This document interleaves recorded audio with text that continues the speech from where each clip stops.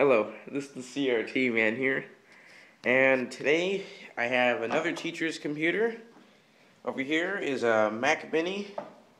I think this is running Tiger, and this is a ViewSonic uh, A70 CRT computer monitor.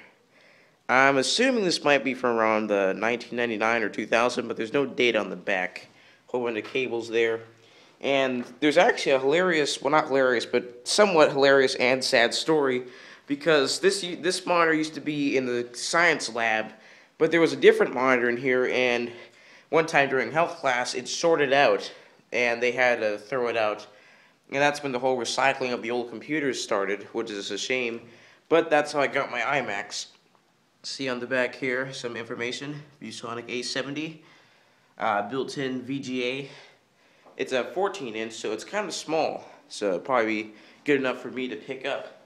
And yeah, this this computer isn't used too much. She got some speakers there, Logitech mouse, and looks like another Blueberry um, iMac uh, G3 keyboard. So yeah, uh, thanks for watching.